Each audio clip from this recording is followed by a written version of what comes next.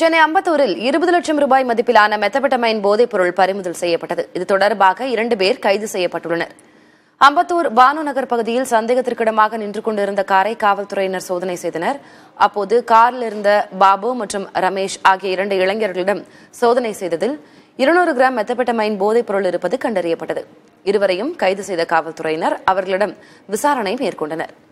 அப்போது பெங்களூருவில் இருந்து போதைப் பொருளை வாங்கி வந்தது தெரிய வந்தது. பிடிபட்ட இருநூறு கிராம் மெத்தபெட்டமைன் போதைப் பொருளின் மதிப்பு இருபது லட்சம் ரூபாய் இருக்கும் என தெரிவித்த காவல்துறையினர் விசாரணையை தீவிரப்படுத்தி இருப்பதாக கூறினர்.